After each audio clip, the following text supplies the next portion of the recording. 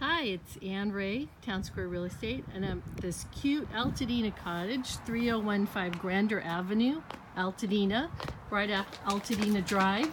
Three bedrooms, two baths, hardwood floors, fireplace, little office, could be a four bedroom house. You got this great dining room space, updated kitchen, lots of parking, and a great big backyard. Come on over today, Sunday, 1 to 4. It's a great little cottage up against the foothills in Altadena.